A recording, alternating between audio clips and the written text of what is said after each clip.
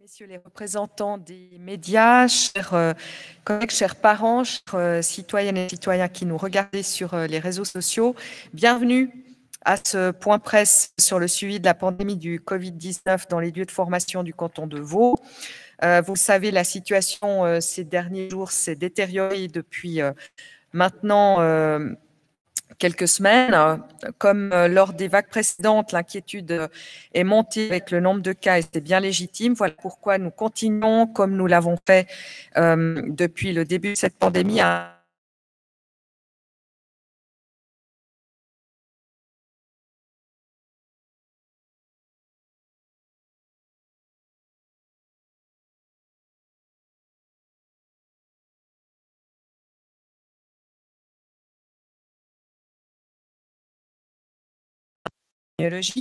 sur le nombre d'absence des élèves et des enseignants d'école obligatoire et les nouvelles mesures euh, qui ont été euh, décidées suite à l'augmentation des cas positifs euh, dans nos écoles et suite à la décision fédérale de laisser leur autonomie au canton.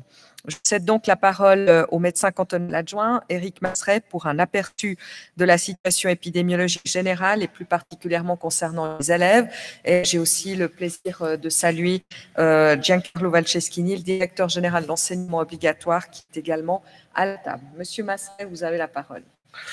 Merci, Madame la conseillère d'État. Un, bref, point épidémiologique hein, sur la situation actuelle et son évolution euh, on peut passer la première slide, s'il vous plaît. Oui, vous voyez ici à votre gauche pour vous la situation historique et à droite la situation actuelle de, de la charge hospitalière. Je commence comme cela puisque toute l'action actuelle vise à protéger les capacités hospitalières. On voit sur la partie de gauche qu'on vient d'une histoire à la fois longue et qui a été plus chargé qu'aujourd'hui. Mais comme on sait, les capacités d'action hospitalière ne, sont pas, euh, ne peuvent pas être mobilisées complètement et de façon aussi importante que lors des vagues précédentes. Vous voyez à, droite que la situation évolue. Vous y voyez aussi une différence entre la, partie rose clair, qui sont les hospitalisations en soins aigus et les hospitalisations en soins intensifs en rose vif. Vous voyez qu'il y a une nette différence. Hein. Il y a donc une évolution qui est différente, qui charge beaucoup les hôpitaux en soins aigus, euh, un taux d'occupation là dans, en rose vif euh, sur les soins intensifs qui est à peu près un peu plus du un peu plus du tiers, hein, euh, donc 30 30 lits en soins intensifs sur 85 lits certifiés dans le canton. Donc c'est un taux d'occupation qui est qui est important. Le, nos systèmes pour pouvoir fonctionner normalement n'a pas été prévu pour une charge comme ça. à ce stade-là, déjà, il faut discuter de limiter les interventions électives. Bon, pour éviter de devoir aller plus loin, il faut limiter autant que possible le nombre de cas. Pour limiter autant que possible le nombre de cas, il faut limiter autant que possible la circulation du virus. Bien. Dia suivante. En quoi les enfants sont-ils ici concernés? Euh, Slide suivante, s'il vous plaît. Euh, au cours des, des, deux dernières semaines, si on voit, que vous pouvez faire, euh, faire avancer Voilà, ici, merci. Donc là encore, deux, graphiques. À gauche, à votre gauche, les enfants. À droite, les plus de 20 ans. Donc si, si on, regarde comme ça, sans faire de, des détails dans les chiffres, en environ 15 jours, 15 jours, il y a quatre fois plus de cas chez les enfants. Euh, mais il y en a à peu près autant qui ont augmenté chez les adultes aussi. Alors, on fait un focus sur les enfants. J'insiste aussi toujours pour dire, certes, il y a une part qui vient des enfants. On voit que la majorité des cas, c'est chez les adultes. Les hospitalisations ont lieu chez les adultes. Il n'y a pas de cas hospitalisés d'âge scolaire actuellement. Les médecins spécialistes, les pédiatres spécialistes nous mentionnent également que euh, ils n'ont pas observé, et avec ce variant Delta en particulier, de syndrome inflammatoire sévère qui, euh, qui, qui inquiète parfois euh, les parents ou, les spécialistes en comparaison aussi internationale. Donc on n'observe pas de problème clinique ou hospitalier avec les enfants. Donc la question se, se, se pose de laisse-t-on ou ne laisse-t-on pas circuler le virus chez les enfants? On ne peut pas espérer avoir un, une stratégie zéro Covid, ce n'est pas possible pas seulement lié aux enfants, mais parce que ça circule parmi les adultes. On le voit ici dans les chiffres que vous avez. Donc la question, c'est comment peut-on doit-on limiter la propagation chez les enfants? Ici, on est dans configuration pédagogique, je dirais, donc, euh, donc scolaire. Euh, quid de la situation par catégorie scolaire, ce qui est la slide suivante, s'il vous plaît. Euh, que vous connaissez si vous regardez le site euh, internet de l'État de Vaud et du département de la formation en particulier, où on, où on retrouve ces courbes en pointillé les courbes de l'année précédente et puis en très plein les courbes de cette année. Et ce qui frappe d'emblée, c'est la montée euh, des classes des plus jeunes, euh, donc primaire et secondaire 1, par rapport au secondaire 2. Et ça dit une chose, c'est qu'avec ce virus, s'il y a une population qui est susceptible, eh bien, elle est très atteinte par la circulation du virus. Il y a un taux d'immunité qui est complètement différent. L'étude de séroprévalence euh, vaudoise qui a été euh, communiquée ces deux dernières semaines, on a, on a une évolution de, de 33% à 50% entre 5 ans et 15 ans. Au-delà, en secondaire 2, on est jusqu'à 85% de taux d'immunité. Donc c'est complètement différent. Et euh, ce que je viens de vous dire, enfin ceci explique cela, explique la situation de cette courbe-ci. Euh, donc ce n'est pas une surprise que la situation euh, évolue comme ça. que fait-on pour cela actuellement? Donc il y a de la surveillance et de l'intervention. Slide suivante, s'il vous plaît je vous ai juste mis ces chiffres-là. Il y en a d'autres qui peuvent être, euh, pourraient être présentés. On peut en discuter après si vous le souhaitez. Juste pour vous dire que l'action qu'on fait de dépistage, testing, reste français, dépistage de classe, participe au contrôle, contribue au contrôle de l'épidémie et en même temps vise à maintenir le présentiel autant que possible. Donc, il n'y a pas de quarantaine de classes a priori qui, sont faites. Par contre, lorsqu'il y a la mise en évidence de cas dans une classe, on va s'intéresser à ce qui se passe plus largement parmi euh, cette classe-là. En particulier, s'il y, a, euh, y a trois cas euh, qui apparaissent, donc les parents sont sollicités pour tester leurs enfants. On en trouve passablement. C'est une stratégie qui est vraiment ciblée là où on a des cas. Pour vous donner cet exemple-ci, donc la semaine passée, donc 131 classes étaient concernées par ce dépistage. Ça concernait 2600 élèves et on en trouve 10% positifs qui sont des enfants asymptomatiques. Euh, par comparaison, là, je, profite de cette remarque maintenant. Euh, il a été beaucoup discuté du testing répété à large échelle systématique versus du testing ciblé. Ce, ce mode d'action-là nous donne 10%, quand c'est ciblé sur là où on pense qu'il y a des cas, 10% d'enfants positifs. Alors que les résultats du testing ciblé large échelle systématique, dont on parle beaucoup, c'est autour de 1%. Donc on est 10 fois plus efficace. Ou autrement dit, si on voulait avoir le même résultat avec, un, avec en allant à la pêche euh, large échelle, il faudrait tester euh, 10 fois plus de classes. Ce qui, est, ce qui est très difficile à faire déjà. Euh, donc l'année, la semaine, la semaine passée, 131 classes, 2600 élèves, environ 260 cas mis en évidence, asymptomatiques, mis en isolement. La semaine d'avant, c'était à peu près les mêmes proportions avec moins, moins de classes. Donc on suit de très près.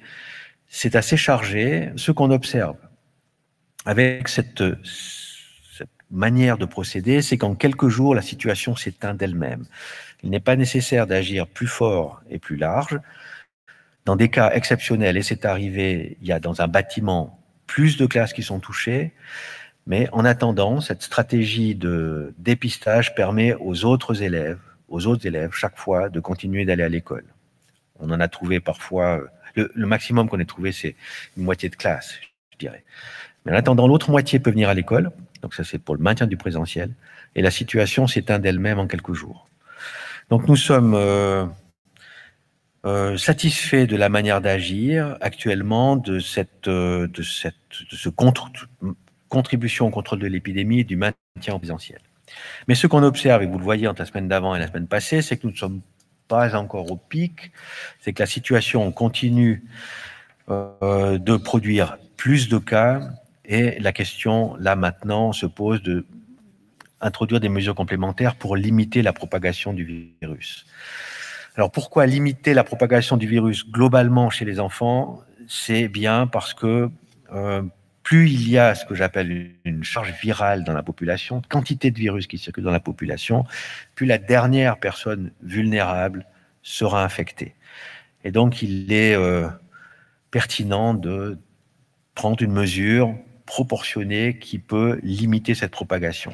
Nous n'avions pas jusqu'à récemment de transmission intraclasse de manière significative, mais là encore, s'il y a beaucoup de virus qui circulent, même la transmission intraclasse a lieu aujourd'hui. D'où la discussion que nous avons eue ces jours pour introduire des mesures complémentaires pour limiter cette propagation, à la fois pour les classes et pour la population générale, pour les populations vulnérables. Voilà ce que je voulais vous présenter aujourd'hui. Et puis on pourra, je pourrai développer ensuite s'il y a des questions particulières sur l'épidémiologie. Merci. Merci, merci beaucoup, euh, Monsieur euh, Masseret. Mesdames et Messieurs, voyons maintenant comment cette situation se traduit euh, dans les écoles concrètement, notamment en termes d'absence. Donc sur la planche que vous voyez ici, le nombre d'absences d'élèves, voilà, parfait. Euh, au mois de novembre 2020 euh, et 2021, on constate euh, une forte augmentation en fait de, des élèves absents. C'est les élèves qui sont absents dans le mois. Et en comparaison entre 2020 et 2021, on observe surtout au cycle 2 une, une, augmentation importante du nombre d'absences. puisque, comme vous le constatez, en particulier au cycle 2, vous avez 2700 élèves absents dans le mois au mois de novembre 2020 et vous en avez 4840 dans le mois en 2021. Donc ça fait une augmentation de 80% en fait euh, du nombre d'élèves qui euh, euh, ont été absents durant ce mois et disons même si l'augmentation est moins forte au cycle 1 et au cycle 3, vous avez quand même des augmentations de près de 40% en termes d'augmentation des absences. Ici, dans la planche suivante, vous découvrez la comparaison des mois de novembre 2019, 2020 et 2021 en termes d'absence des enseignants, euh, toutes raisons confondues. Euh, là, euh, vous constaterez par vous-même qu'il y a bien une hausse due au Covid, mais elle est moins forte en 2021 qu'en 2020, avec des pourcentages de périodes qui ont été remplacées. Ça, c'est le nombre de pourcentages euh, euh, d'enseignants absents. Et puis, en termes de période remplacée, c'est la planche suivante. Euh, c'est corroboré par ces nombres de périodes remplacées, le nombre d'enseignants absents.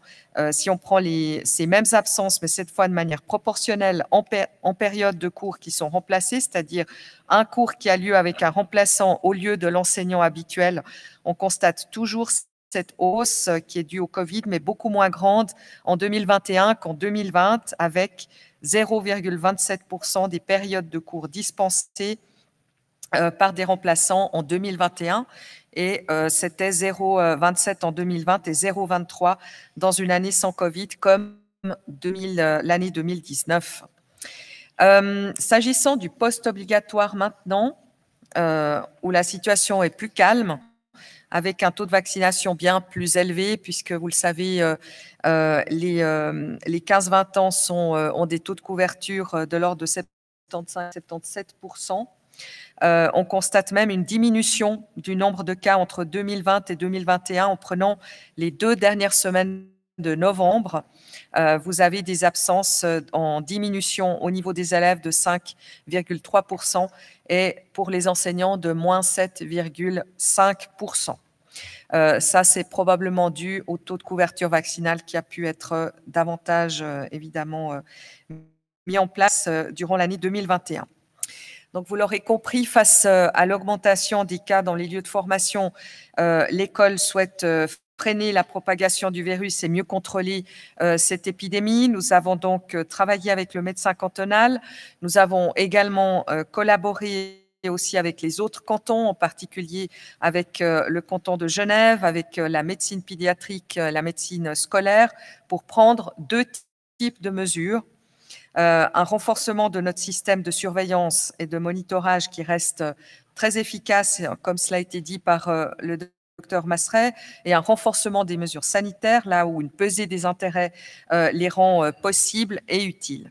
S'agissant du monitorage, Notre système de surveillance, mesdames et messieurs, nous considérons toujours, 21 mois après le début de la crise, et euh, plusieurs mois après la mise en place de ce testing ciblé, que ce testing ciblé a fait ses preuves, mais nous allons le renforcer de plusieurs manières. Je vous redis encore comment ça fonctionne, car euh, même si c'est le cas depuis des mois, il est normal que des parents, par exemple, ne s'y intéressent que lorsqu'ils sont directement touchés euh, par des cas dans la classe de leurs enfants ou des voisins ou de leur commune. Donc, pour reprendre sur la problématique des testings ciblés, nous monitorons les cas Covid de l'ensemble des élèves des lieux de formation deux fois par jour. Nous croisons les données de tous les élèves de nos lieux de formation avec la base de données des cas positifs Covid du médecin cantonal. Nous faisons matcher ces bases de données, c'est-à-dire la base de données des cas positifs Covid du médecin cantonal avec euh, évidemment les données que nous, dont nous disposons avec, euh, sur les élèves de tous nos lieux de formation. Ce croisement de données est fait par des personnes qui sont soumises au secret médical et elles seules connaissent le nom des personnes concernées. Mais le système est fait de telle manière que nous savons qui est en classe avec qui et lorsque deux élèves sont positifs au coronavirus dans la même classe sur une période de cinq jours consécutifs, une évaluation de la situation est faite et cette évaluation peut mener, mène en général à une enquête d'entourage et à des tests de dépistage ciblés euh, si cela est nécessaire. Vous l'avez vu tout à l'heure, une fois que le dépistage ciblé s'effectue, il y a à peu près 10% euh, en fait des cas euh, positifs qui sont identifiés. Eh bien, avec ce système de testing ciblé, nous allons encore renforcer ce système par plus de moyens alloués à sa supervision, euh, et au lien avec euh, les établissements, mais aussi euh, renforcement des équipes de traçage qui font les évaluations et les enquêtes de terrain. Mais ce n'est pas tout. les établissements vont en parallèle déclencher également une procédure d'autotest dès que quatre élèves sont absents dans une classe pour cause de maladie, quelle que soit la maladie. Euh, sauf bien sûr si la classe vient effectivement d'être testée parce qu'elle répond aux critères de surveillance du testing ciblé habituel évoqués. Donc, dorénavant, si quatre élèves sont absents dans une classe, euh, nous distribuons désormais des tests rapides euh, par l'établissement à faire à la maison par les parents. si le test est positif, eh bien, on met en quarantaine les élèves et la fratrie euh, concernés par, euh, par l'élève en question. Euh, et évidemment, nous demandons est-ce qu'il y a un test complémentaire PCR à réaliser dans un centre de test? Et si ce test complémentaire est négatif, l'élève peut retourner à la maison. Donc, si vous voulez, on a couplé le système du testing ciblé habituel, qui est basé sur le matchage entre la base de données du médecin cantonal avec nos bases de données dans l'école, avec une procédure supplémentaire d'autotest dès que quatre élèves sont absents dans une classe pour cause de maladie. Donc, on n'attend pas euh, que ces personnes, ces élèves soient identifiés euh, Covid ou pas. On fait directement dès qu'il y a une identification de quatre élèves absents pour cause de maladie, nous déclenchons euh, le, système d'autotest avec euh, distribution rapide par l'établissement euh, et ces autotests sont à faire à la maison par les parents. Et ensuite, si positif, quarantaine, test complémentaire PCR et si PCR négatif, l'élève peut retourner à la maison.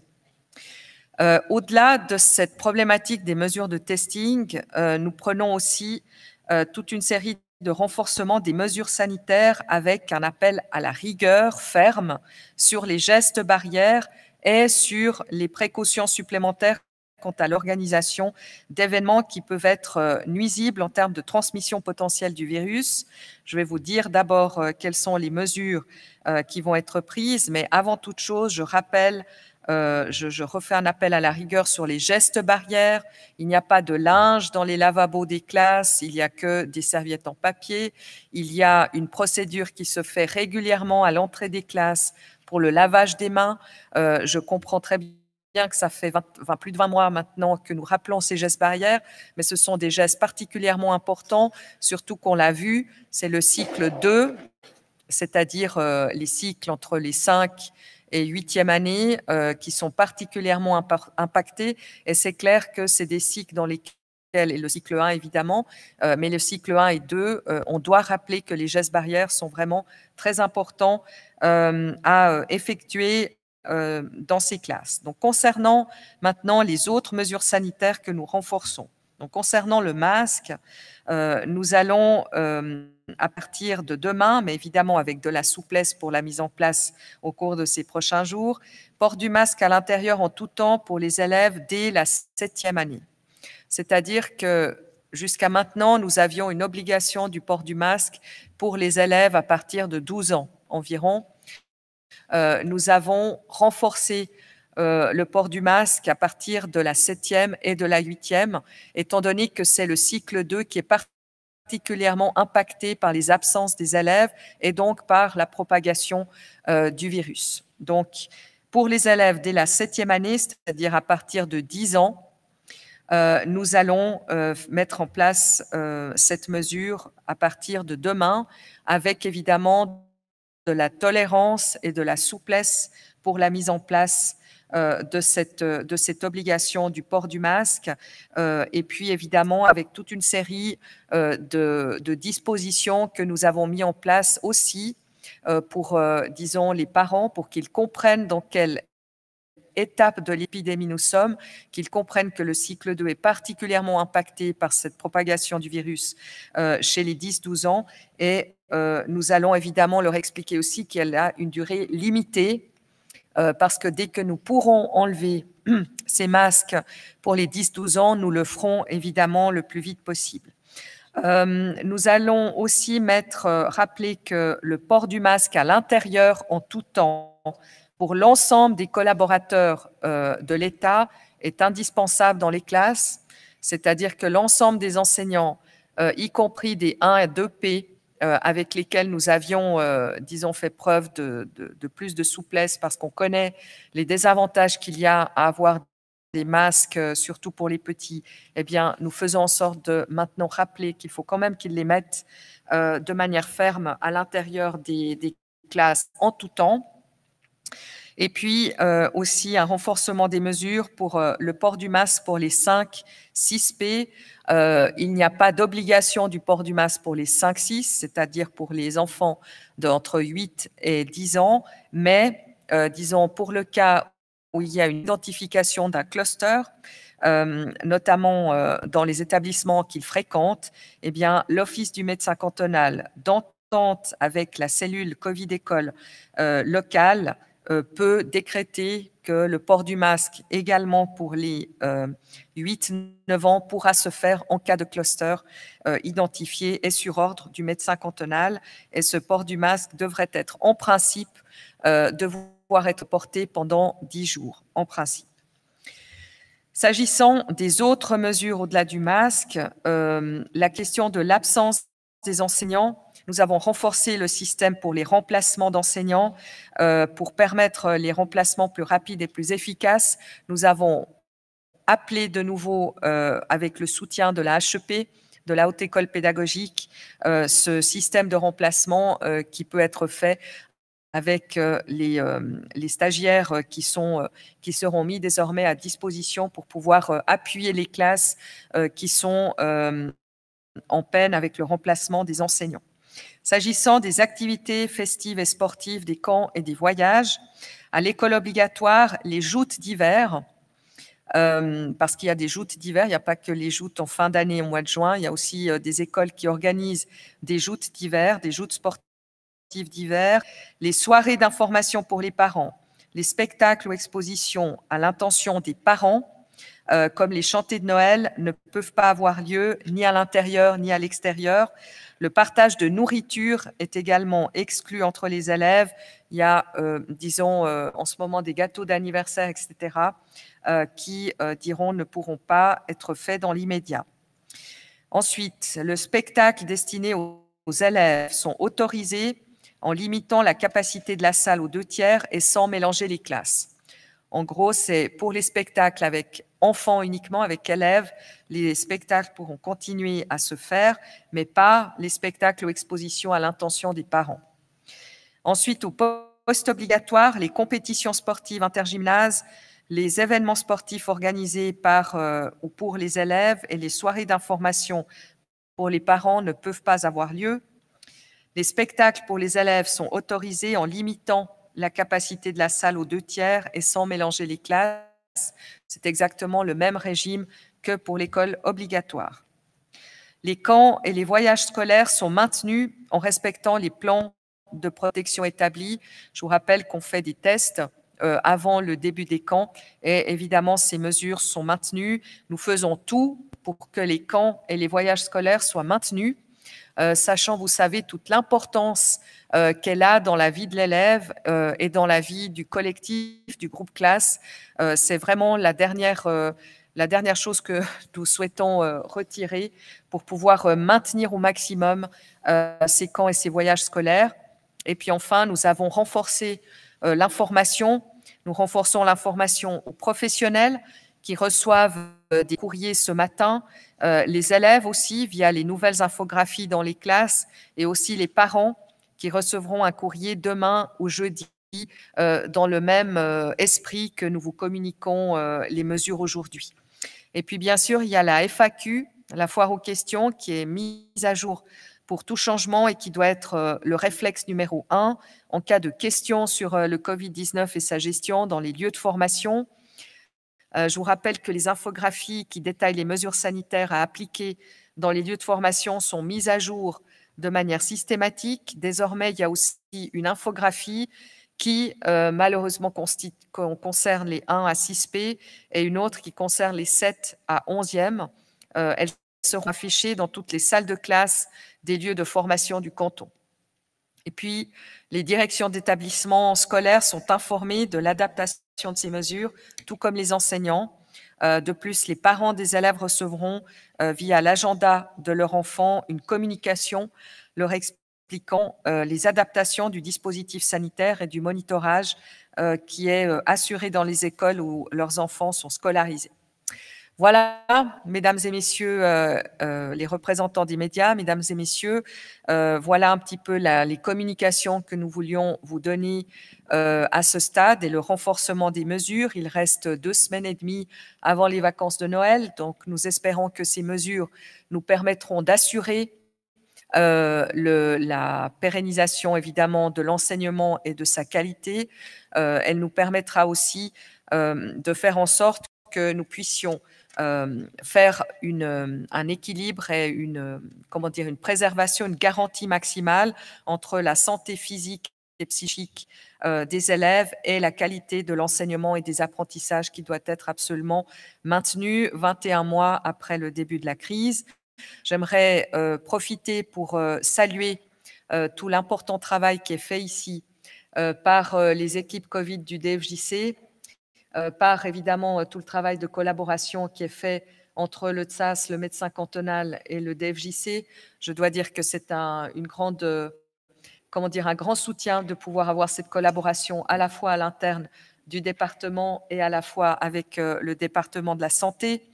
J'aimerais aussi remercier évidemment beaucoup les enseignants qui tiennent, euh, qui tiennent le bateau sur le terrain. Euh, vous l'avez vu, euh, les enseignants ne sont pas plus absents que d'habitude dans, les, collèges, dans les établissements scolaires. Ils, sont pleinement, disons, en train de, de, tenir les responsabilités qui sont les leurs dans les classes 20 mois après le début de cette crise. Et je dois dire qu'ils sont au front. Et je dois vraiment, je tiens vraiment à les remercier très chaleureusement pour euh, la responsabilité qu'ils prennent sur le moyen et sur le long terme euh, avec les, élèves et les, enfants et les jeunes de, notre canton. J'aimerais aussi, malgré le fait qu'on est en train de saper les, séances et les, spectacles avec les parents de fin d'année, j'aimerais les encourager toutes et tous, enseignants, parents, élèves, jusqu'à Noël, euh, remercier vraiment euh, les parents, dire aussi que les directions notamment avec les renforcements des mesures de testing, auront beaucoup plus de travail que d'habitude pour, pour organiser aussi ces, ces tests avec les nouvelles mesures de renforcement ciblé que nous faisons sur les, les testings pour les classes qui ont quatre élèves absents dans les, dans, les classes. Donc voilà, finir aussi par remercier l'ensemble des, collaborateurs du département pour tout le travail qui est fait maintenant sur le long terme avec cette crise. Et puis vous dire que nous espérons finir ces deux semaines et demie de la manière la plus sereine possible pour reprendre une rentrée euh, qui, je l'espère, sera plus euh, normalisée que ce que nous devons faire aujourd'hui. Voilà, merci beaucoup. Et je cède la parole à qui veut la prendre pour des questions. Merci, Juste une précision. Je vais utiliser celui-là. Voilà. Euh, peut-être juste une précision sur les chiffres du poste obligatoire. Ça ne concerne pas seulement les deux dernières semaines, euh, comme on a pu vous le dire. Petite erreur, c'est glissé là. ces chiffres concernent euh, l'absence au poste obligatoire entre la rentrée d'août et le mois de décembre 2020 et la rentrée et le mois de décembre 2021. Donc c'est l'entier de la période août-décembre 2020 comparé à la période août-décembre 2021 qui donne cette diminution de moins 5,3% pour les élèves et de moins 7,5% pour les enseignantes et enseignants. Voilà, c'était une précision nécessaire à vous apporter pour ces chiffres. Et maintenant, si vous voulez poser vos questions, je vais m'approcher de vous et je vais tenir le micro pour éviter de le désinfecter entre chaque intervention. Oui, bonjour, Anthony Fumagalli de la NZZ. Euh, j'ai deux questions, une pour Madame Amrel, une pour euh, Monsieur Masseret. Euh, premièrement, vous nous avez montré cette augmentation importante des absences. ça signifie aussi une, charge importante pour les parents qui doivent rester à la maison alors que, leurs parents, leurs, enfants sont peut-être même asymptomatiques. Est-ce que vous avez des réactions de la part des, des parents qui sont peut-être mécontents parce qu'ils doivent rester à la maison pendant 10 jours, qu'ils ne peuvent pas aller travailler? Premièrement, puis pour Monsieur Masseret, euh, vous nous avez montré l'évolution des lits, euh, des soins intensifs. Est-ce que le canton de Vaud a déjà dû accepter des patients d'autres cantons pendant cette vague-ci? Et est-ce qu'il y a la, disponibilité pour, pour, faire cela? Merci beaucoup pour ces deux questions. Peut-être. Euh, Peut-être juste préciser que les absences qui ont été présentées par un chef de département mon tableau d'absence qui mentionnait les élèves, c'est toute maladie. Donc, on n'a pas de distinction sur euh, l'origine de cette maladie, puisqu'on n'a pas d'accès, évidemment, à cette information. Donc, en fait, on renseigne uniquement la présence ou l'absence des élèves. Donc, c'est tout motif maladie confondu. Voilà. Grippe et autres euh, maladies possibles. Ce n'est pas spécifique lié, spécifiquement lié à des quarantaines. Donc, Giancarlo Valceschini, directeur de l'enseignement obligatoire. Est-ce qu'on a des réactions de parents vis-à-vis de devoir garder leur enfant asymptomatique à la maison pour une dizaine de jours? Est-ce que c'est quelque chose qui remonte des établissements? Euh, on, a quelques réactions de parents qui nous écrivent. C'est vrai que ça peut arriver, mais c'est plutôt rare parce que c'est un phénomène qui s'est déjà produit par le passé. Donc, je veux dire que les gens se sont habitués au principe de dire, ben voilà, si euh, effectivement il y a des cas positifs qui se présentent, ça concerne en principe toute la, toute la famille, toute la fratrie. Je ne sais pas les règles qui sont données. Je, précise, je passerai la parole au docteur Masseret qui précisera quelles consignes sont données euh, dans ce genre de situation, puisque c'est euh, le tracing qui intervient à ce moment-là. Oui, merci. Les, bon, c'est des, problèmes de garde qui peuvent se poser euh, à domicile. Mais sinon, tout d'abord, conscient de ces problèmes-là, nous tâchons de limiter au maximum, donc là où on pense que c'est nécessaire de le faire, justement des quarantaines. C'est aussi une des raisons pour ne pas faire de quarantaine que je dirais inutile à large échelle. Hein. Si, on avait suivi d'autres protocoles, on aurait des milliers de, familles, euh, disons, avec des, questions de garde aussi qui se poseraient. Euh, il, faut, il, faut, aussi savoir que, le, que la question de la quarantaine autour d'un cas concerne les personnes non vaccinées ou non guéries. Hein. Donc ça, limite euh, tout de même la, charge ou l'exigence de, quarantaine, sachant que tout de même une, bonne majorité d'adultes sont vaccinés, même si en fait dans la classe d'âge des parents, des, jeunes parents, je dirais, c'est cette classe d'âge-là qui est euh, peu, euh, enfin la moins représentée dans les, bons scores de vaccination. euh, Est-ce qu'il y, a des, réactions? Oui, il y a des réactions. Il y a des réactions dans, les, dans, dans tous les sens, j'allais dire dans les deux sens. Une charge, charge trop importante, et puis d'autres qui trouvent qu'on n'en fait pas assez, quitte à être probablement plus, plus embêté, ou plus en quarantaine, plus en isolement. Toujours la quête de la proportionnalité, je dirais.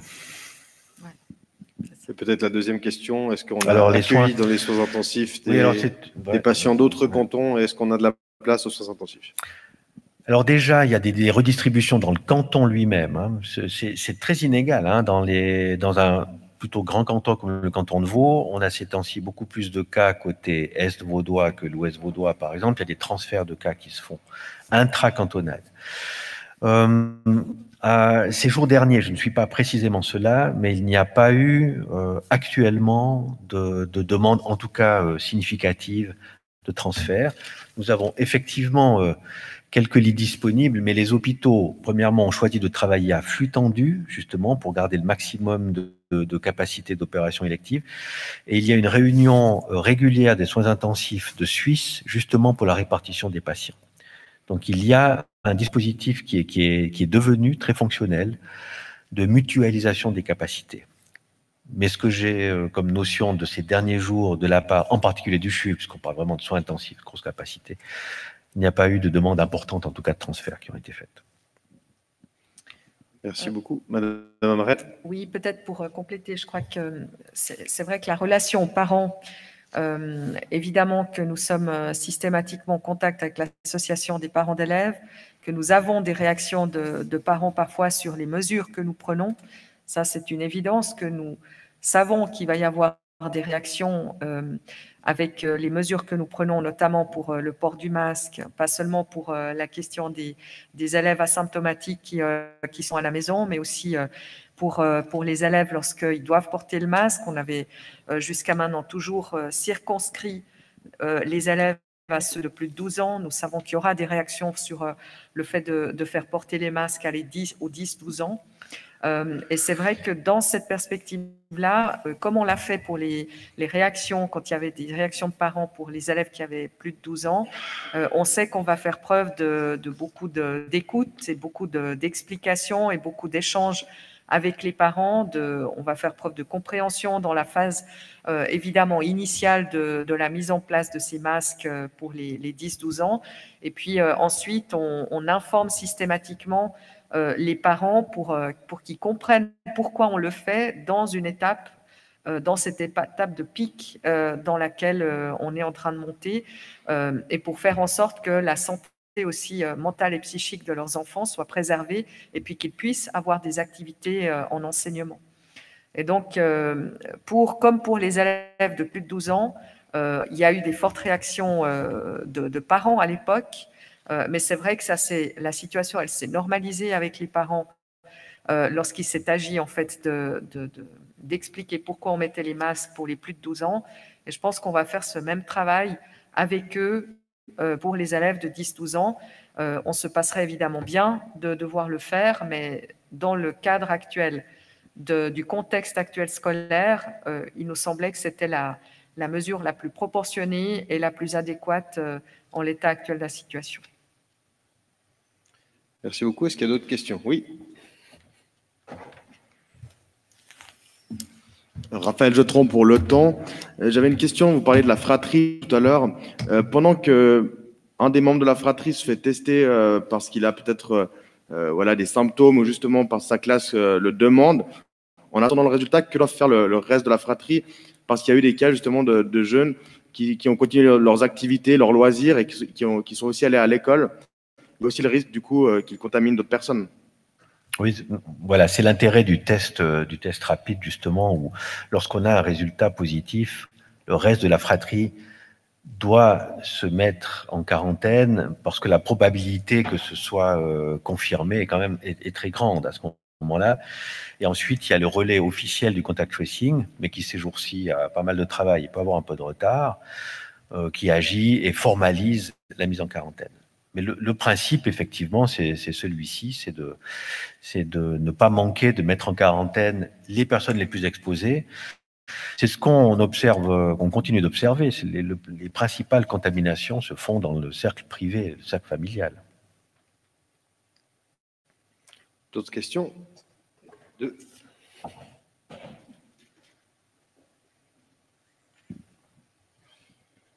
Euh, oui, trois questions. Est-ce qu'on sait de quelle mutation du virus on parle? Deuxième question, les, les testings, renforcer le testing, si j'ai bien lu, ces laboratoires sont submergés. Est-ce que c'est possible, par exemple, pour les PCR, d'envisager plus de tests encore? Dans quel délai on a les réponses? Et la troisième question est d'ordre plus général. Si j'ai bien compris, M. Masseret, au début, il y a quand même un côté rassurant, il n'y a pas de cas hospitalisés, etc. Mais après, on annonce un renforcement des mesures assez fortes. Est-ce que là, il n'y a pas une légère contradiction ou c'est moi qui ai mal compris? Oui, merci pour la, question. Ça permet peut-être de repréciser le, raisonnement. Donc, de quelle mutation On parle toujours du variant Delta aujourd'hui. Euh, il y a eu quelques cas rares, vous les avez tous euh, vus passer, euh, de variants Omicron importés, si on veut. Mais actuellement, on n'est pas, avec deux variants en circulation. Les choses peuvent évoluer assez vite, effectivement. Mais actuellement, et pour ces prochaines semaines, c'est le variant Delta. Pour, le, pour les capacités de, de tests, oui, c'est, pas toujours facile. il y a une augmentation des de capacités de test qui sont prévues ces jours euh, pour les demandes actuelles, je dirais. Euh, mais les demandes actuelles sont en augmentation, notamment parce qu'il y a le raccourcissement de la validité des tests euh, pour le certificat. Alors, il y a eu pour les enfants, pour rester sur, ce, sur notre chapitre aujourd'hui, une extension de la capacité de test en pharmacie pour les enfants jusqu'à jusqu'à présent.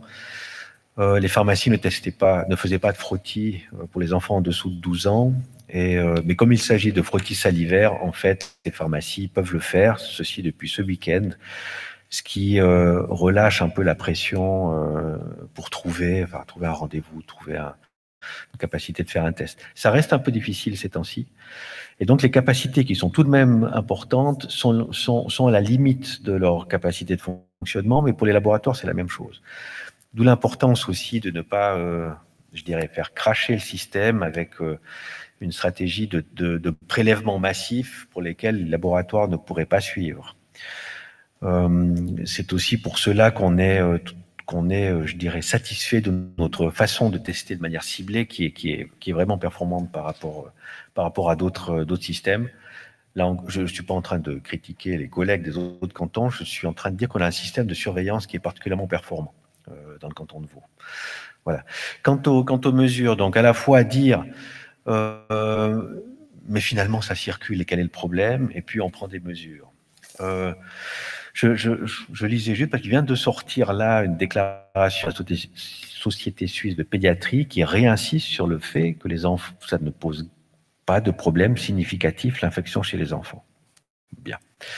Donc, je trouve que c'est important de le dire parce que c'est rassurant. Cependant, peut-on accepter que le virus circule à ce point et continue de circuler de plus en plus fort aujourd'hui? C'est là que le problème, c'est là que le problème se pose.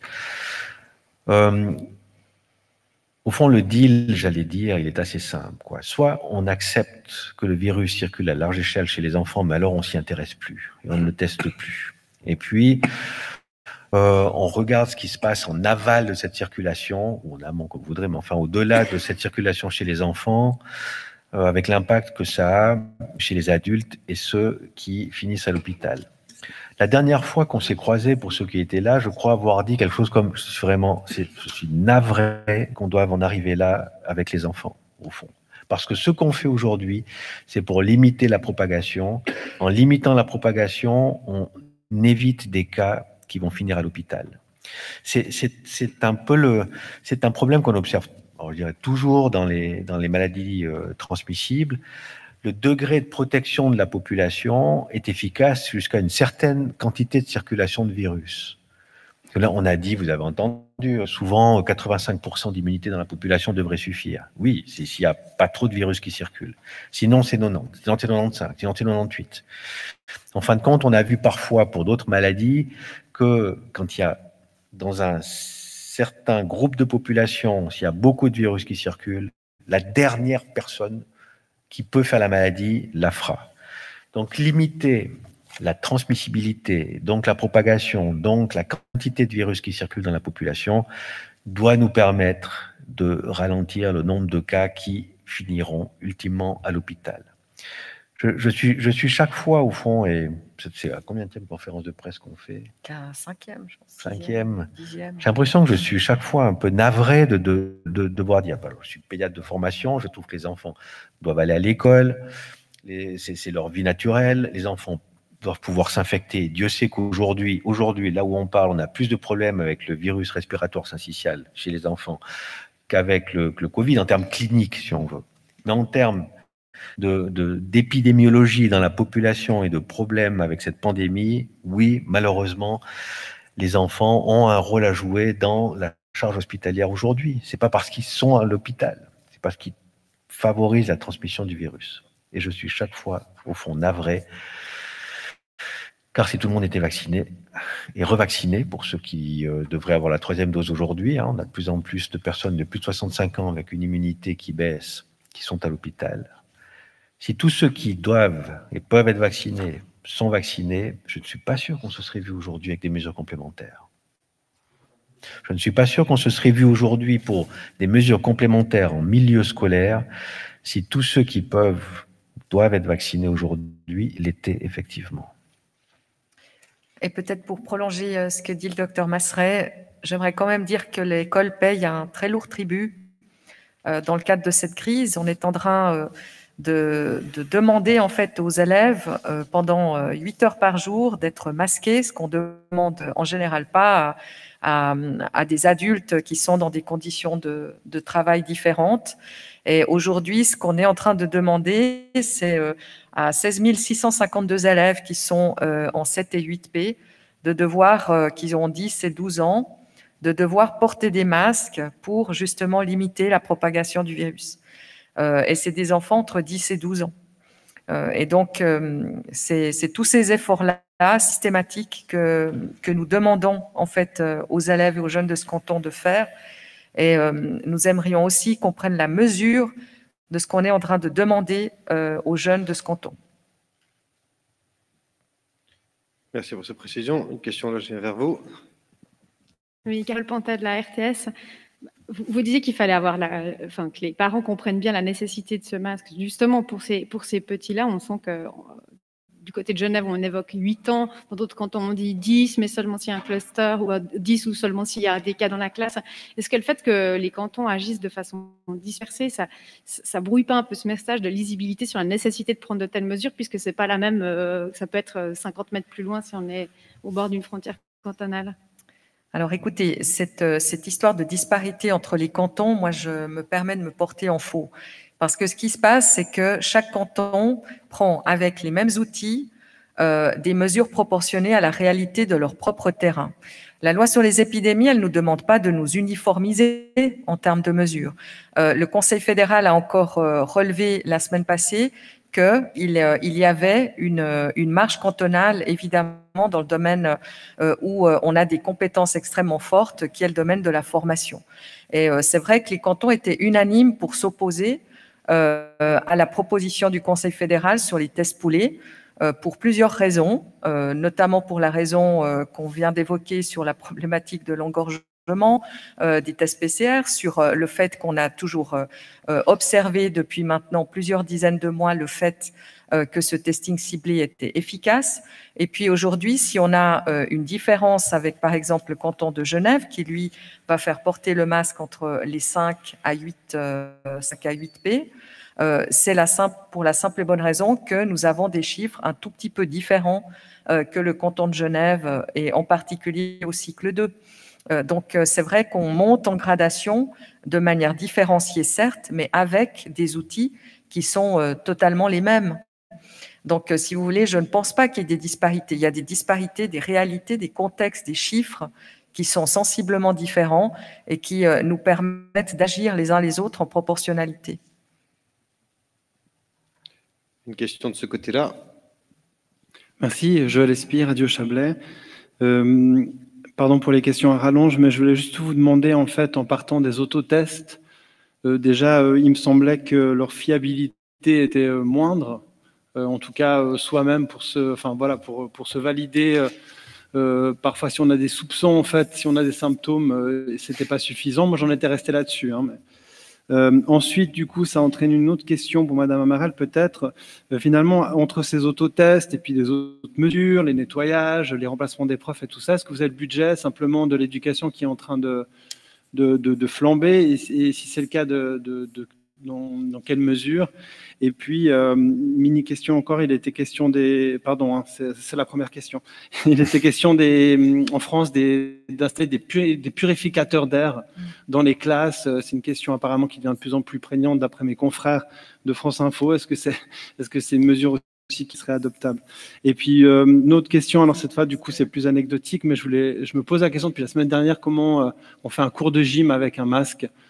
Euh, s'il y a une adaptation, tout simplement des, cours de gym au-delà de la boutade. Euh, voilà. On va essayer d'aller dans l'ordre. Monsieur Besseret, peut-être dans, dans, l'ordre, si on veut, pour les autotests, euh, c'est effectivement toujours et largement discuté. Il est, possible que les tests antigéniques rapides, auto ou pas auto, ne soient plus utilisés en fonction de l'évolution des, variants, par exemple, comme on, comme on posait la question tout à l'heure. Euh, actuellement, les autotests sont des tests qui sont officiels et homologués par la Confédération. Ils sont moins sensibles qu'un test PCR. Euh, ils mettent en, en, évidence, je dirais, par contre, très bien une personne qui est contagieuse, symptomatique, enfin pas forcément symptomatique, mais contagieuse. On voit qu'on trouve pas mal de cas, comme je l'ai montré tout à l'heure, chez des asymptomatiques. Donc en fait, le but qu'on vise avec cette mesure, c'est un contrôle épidémiologique populationnel dans un certain groupe. Ça ne vise pas un diagnostic individuel le plus sécurisé possible.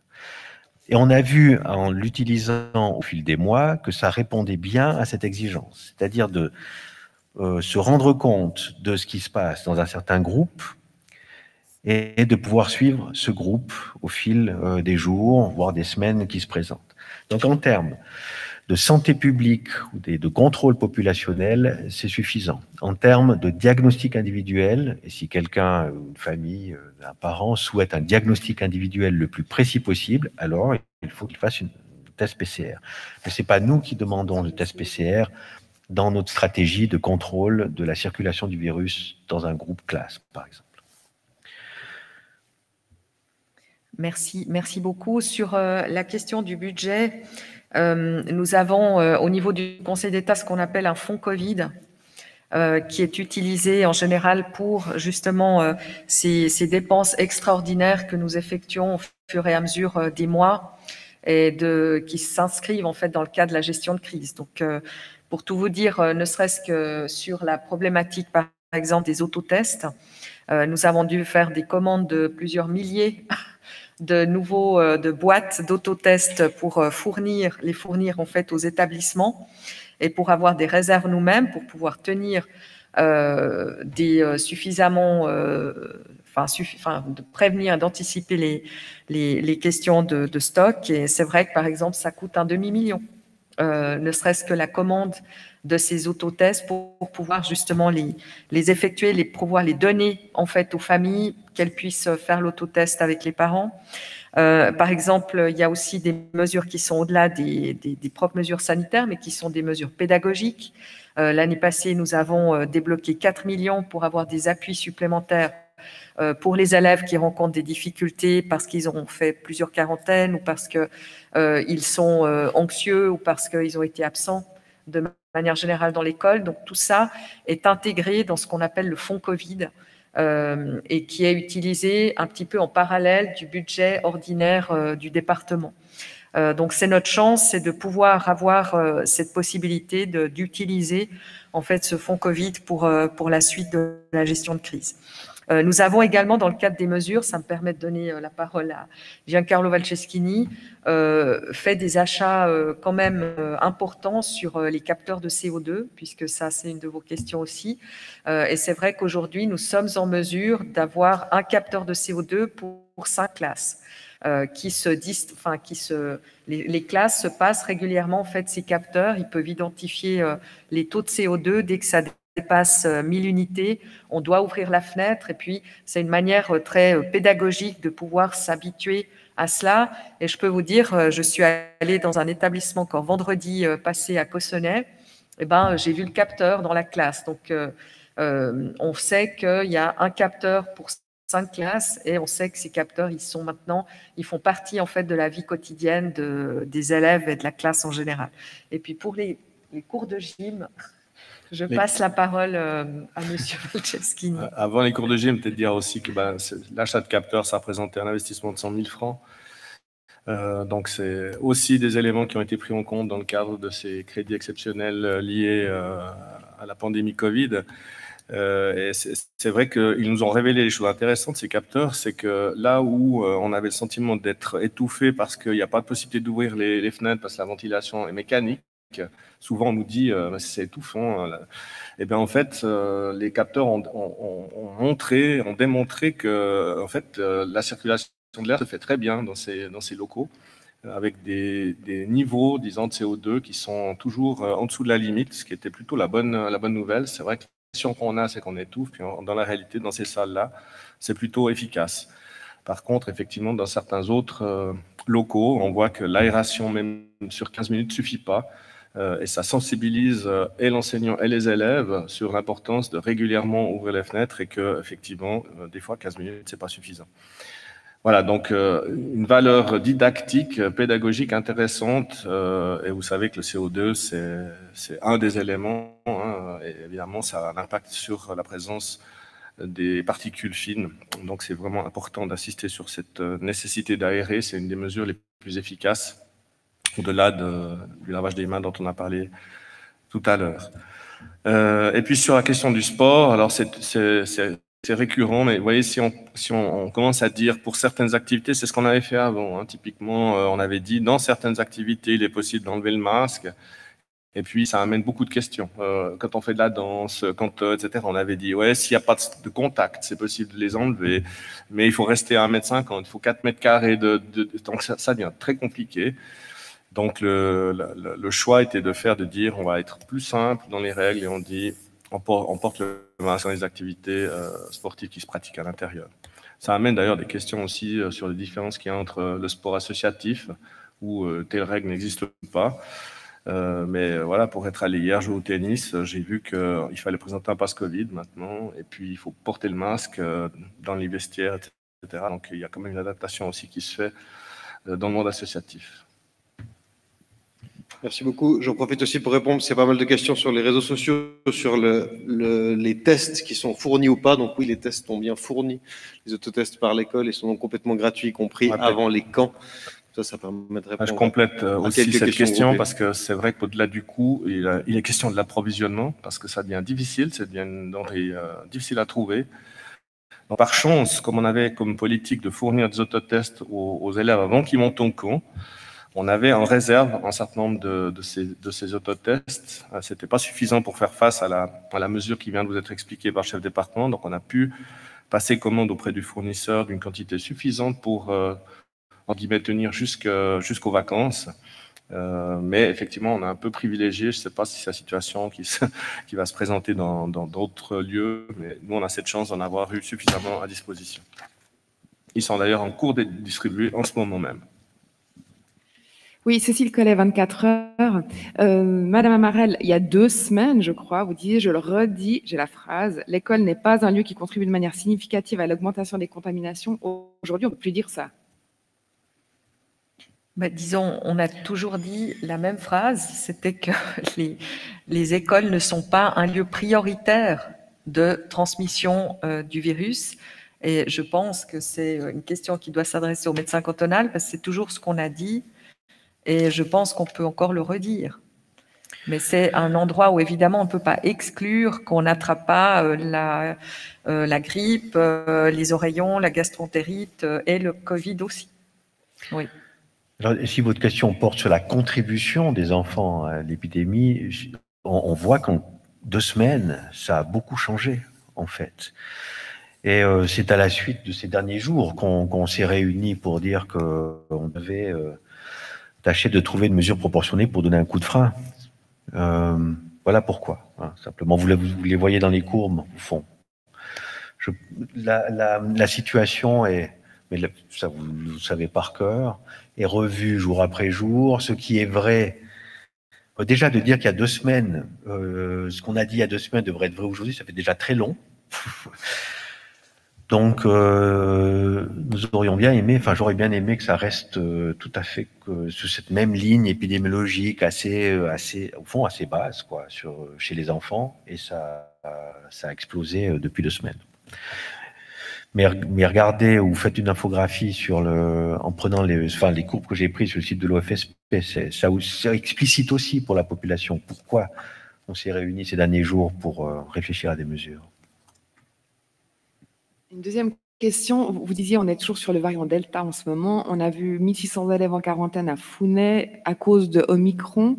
Est-ce qu'on est recherche vraiment de quel variant il s'agit ou parce que l'autotest ne le permet pas, mais est-ce que dans les PCR on recherche ça et on peut vraiment euh, parler uniquement de, Delta? Alors oui, il y a une surveillance qui se fait. Euh, pendant ce temps, peut-être que le variant Omicron euh, à bas bruit ici ou là se répand même tendance à dire certainement. Mais il y a une surveillance active qui se fait sur les, sur les cas, sur les prélèvements PCR et sur les cas hospitalisés. C'est un système de surveillance nationale qui est en route, dans lequel le canton de Vaud est partie prenante et participe. Voilà. Maintenant, ça c'est pour la surveillance générale. Lorsqu'il y a un doute, comme vous avez vu à Founé, sur une possible transmission, on se met à tester de manière large et à chercher à ce moment-là activement le variant Micron dans un certain périmètre. C'est ce qu'on va continuer de faire euh, probablement quelques semaines, jusqu'au moment où, comme ça s'est passé avec le variant Delta, quand il devient dominant, on arrête sa surveillance, parce qu'au fond, on a, la réponse à notre question, c'est devenu le variant dominant. En Afrique du Sud, ça s'est passé très vite. En, deux semaines, dans une certaine région, ça a pris le dessus sur, euh, les autres ou sur le variant Delta. Euh, est-ce que ça va se passer comme ça chez nous? Alors, le, Centre européen de contrôle des maladies le dit très, que très probablement oui dans les prochaines semaines. Ça nous donne le temps, et pourquoi on essaie de le retarder alors, puisque c'est inéluctable? Parce que ça nous donne le temps de mieux comprendre sa pathogénicité, enfin, fait-il des maladies plus graves ou, comme les premiers indices le montreraient, plutôt moins sévères? Est-ce qu'il résiste et jusqu'où la vaccination Est-ce que la troisième dose, un taux d'anticorps plus élevé, protège contre des complications de ce variant? Donc l'idée, c'est celle-ci, de gagner quelques semaines en étant assez actif dans la surveillance et l'intervention autour d'un cas. Peut-être prendre encore une ou deux questions. Jérôme Genet pour 20 euh, minutes. Hein. Vous parlez du renforcement de l'information. Euh, il y a bien sûr le secret médical, respect de la, de la sphère privée aussi. Comment que vous faites pour améliorer euh, la communication auprès des parents qui, finalement, c'est entre eux hein, qui communiquent sur des, sur des réseaux par messagerie pour dire voilà, j'ai appris un absent dans la classe. Qu'est-ce que vous pouvez faire concrètement?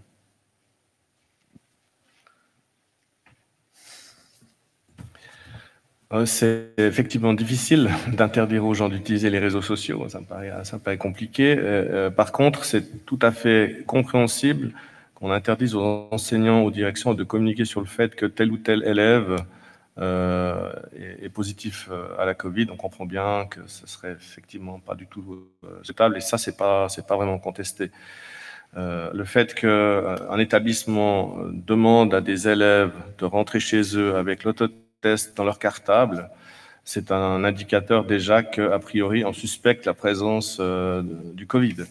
Et euh, ce seul élément euh, permet souvent ou amène parfois certains parents à se, questionner. Effectivement, du coup, ça, crépite un petit peu et puis euh, beaucoup de questions sont, sont, adressées à ce moment-là. Mais encore une fois, c'est pas parce que les élèves rentrent chez eux avec avec l'autotest dans leur cartable que ça veut dire qu'une majorité de situations de, de, ces élèves sera, sera positive. Encore une fois, en étant la mesure, en disant dès lors que quatre élèves sont absents dans une classe, on, déclenche l'opération d'autotest. Et ces quatre élèves, on ne sait pas si c'est euh, lié euh, à la Covid. Hein. c'est juste qu'ils sont absents de l'école pour raison de maladie. encore une fois, on ne questionne pas les parents sur est-ce que c'est le Covid par, hasard. Non, pas du tout. Ce n'est pas notre rôle. Nous, on essaye d'appliquer euh, le, principe de précaution dans l'objectif d'éviter de créer des quarantaines, comme on l'a expliqué tout à l'heure, et c'est pour ça que cette, cette solution, cette piste nous paraît, nous paraît bonne. En tout cas, elle a démontré que la fiabilité est suffisante pour nous permettre de déceler ces, situations et d'éviter ainsi de mettre en quarantaine des, des flopées de classe qui seraient évidemment extrêmement dommageables, même à, l'économie en général un commentaire peut-être complémentaire. Il me semble que c'est une des critiques qu'on le reçoit le plus fréquemment, hein, euh, Véronique Berset, de la part des parents. C'est euh, euh, j'ai entendu que, ou bien une, amie m'a dit que, il y avait un cas ou deux, et pas forcément dans la classe, mais dans l'établissement. Il y a de l'inquiétude. Une partie des familles et des parents qui sont très inquiets avec la situation du virus et qui ne comprennent pas, d'une part, ne informent pas et ne comprennent pas plus de mesures. C'est dans ce cas-là. Et le, choix, vous l'avez vu, il est, il est clair, il est, il, est, ciblé. Pour certains, ça ne suffit pas et donc la formation n'est pas suffisante. Ensuite, c'est vrai qu'il y, a des parents qui, s'informent parmi euh, tout de suite en quelques minutes et qui s'étonnent que dans l'heure qui suit, au fond, il n'y a pas eu d'intervention. Alors qu'on intervient, d'ailleurs par, par, comparaison avec d'autres systèmes d'intervention, euh, ou plus tard, le, lendemain, je dirais, qu'il y a une, une intervention qui se fait. Mais c'est une. Hmm?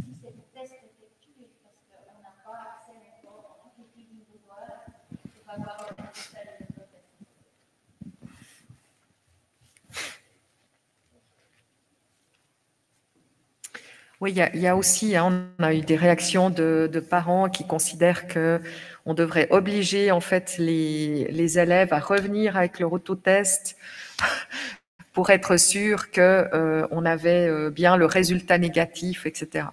Mais c'est vrai que le système, il est basé sur la confiance. Et on part évidemment du principe que lorsqu'un autotest est positif, euh, un parent a la responsabilité d'aller faire tester en PCR son enfant et puis faire en sorte qu'on puisse avoir un résultat euh, avec une, garantie maximale. Mais c'est vrai que c'est basé sur la confiance et puis euh, euh, évidemment, je crois que personne n'a intérêt à ce que ce, système soit défectueux pour l'ensemble de la santé psychique et physique des enfants. Le contrôle qualité de ce dispositif, c'est que le, les infections s'arrêtent en quelques jours. Mhm. Donc je suis, si, si je dire, si j'étais vaudois, je dirais que je suis vraiment déçu en bien du système. ça, ça c'est un appel à responsabilité. Et euh, je trouve, mais c'est au fond une autre discussion, que, que, dans cette pandémie, il y a tellement de responsabilités qui nous ont à tous été enlevées, et donc des, une imposition de mesures, que les parents puissent être responsabilisés et agir, me paraît vraiment un aspect très positif est suffisant pour le contrôle de ce qui s'y passe. Peut-être une dernière question? Oui, euh, pendant que vous étiez en train de parler, il y a un communiqué du Conseil fédéral qui est arrivé. Il est même encore euh, sous embargo, embargo jusqu'à 14 heures. C'est que euh, la Confédération désormais offre l'appui de l'armée aux cantons qui font la demande. La semaine passée encore, le canton de Vaud n'avait pas posé de question justement d'avoir ce soutien de l'armée. Est-ce que entre temps ça a changé? Parce que c'est pour les soins, la logistique et la vaccination. C'est communiqué comme ça euh, dans ce courrier. Est-ce que le canton de Vaud a besoin de ce, soutien ou toujours pas? Je me permettrai de ne pas répondre pour aujourd'hui. Hein. Je crois que c'est dans un autre périmètre. La question a été discutée la semaine dernière dans une réunion de délégation du Conseil d'État avec le chef de l'EMCC et euh, qui nous disait que les conditions pour le canton de Vaud n'étaient pas encore remplies puisque l'intervention de l'armée est subsidiaire aux capacités du canton qui étaient considérées comme suffisantes à ce stade. Mais ça, c'était la semaine dernière. Aujourd'hui, je ne peux pas vous dire. Ce sera rediscuté en séance du Conseil d'État, probablement demain. Peut-être, Monsieur Masseret, une toute dernière question, parce qu'il y a plusieurs réactions sur les réseaux sociaux qui nous parlent du Covid long chez les enfants. Oui, il n'y a pas d'hospitalisation, mais qu'en est-il du Covid long chez les enfants? Est-ce qu'en quelques instants, vous pourriez euh, éclairer cette question? Alors, euh, lorsque, lorsque des enfants sont euh, malades et symptomatiques, il y en a une petite partie qui ont des symptômes qui se prolongent.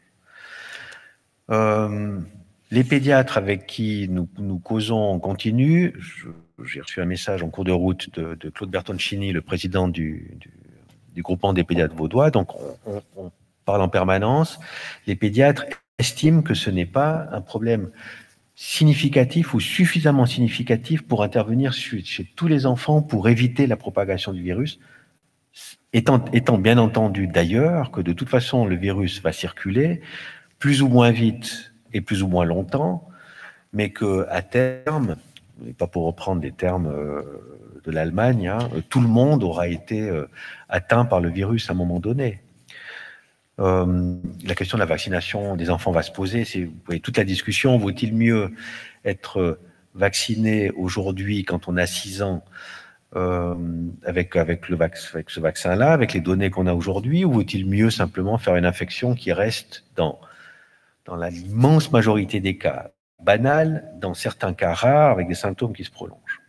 Donc voilà, les pédiatres, en tout cas les cliniciens, euh, estiment qu'il n'y a pas de problème clinique significatif chez les enfants. Il y a toujours les cas individuels euh, euh, isolés euh, possibles, évidemment. Mais, mais, encore une fois, hier, on a eu un entretien avec le, les, nos référents au, au CHUV sur ces questions-là. En tout cas, ce, ce, syndrome, il faut bien distinguer un Covid long, symptôme qui dure, et ce syndrome inflammatoire sévère prolongé qu'il n'observe pas aujourd'hui. Donc, hospitalisation, non. Syndrome inflammatoire prolongé sévère, non. Symptômes prolongés d'un Covid banal, oui, ça peut arriver dans certains cas. Merci beaucoup. Je profite juste pour indiquer encore la, foire aux questions, la fac qui est possible et qui est disponible pour toutes les, questions. Il y a vraiment beaucoup de réponses et, les mises à jour aussi très souvent pour les gens qui ont des, des questions. Donc vd.ch par oblique coronavirus-enseignement avec les chiffres mis à jour toutes les semaines et puis toutes les indications sur l'actualité euh, concernant le Covid dans les écoles. Madame Amarel, pour conclure. Euh, merci, euh, Monsieur Schechter. Donc, je, je voulais juste euh, évidemment vous dire qu'on reste euh, pleinement à disposition euh, pour, pour l'ensemble des questions, observations qui, qui demeurent. évidemment que nous allons rester sur, sur le qui-vive. Nous sommes en, en phase évidemment de, de vigilance extrême et que, comme vous le savez, ce qui était vrai il y a une semaine ne l'est plus aujourd'hui. Et donc, comme cette évolution se fait très rapidement, eh bien, nous sommes euh, en vigilance et évidemment, euh, nous serons euh, susceptibles de vous réinviter pour le cas où des nouvelles mesures devaient être prises dans l'immédiat ou sur le moyen terme. Voilà, merci beaucoup et puis bonne suite de journée.